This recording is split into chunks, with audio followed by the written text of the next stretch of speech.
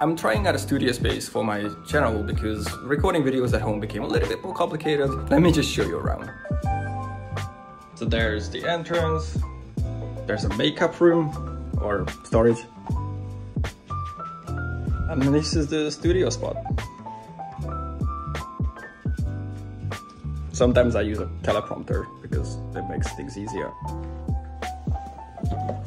I shoot on Fuji if you're interested. And that's it. I hope I can pump out more videos from this spot because it's a lot easier to produce things over here. And um, I guess I'll see you around on the channel. Thanks, bye.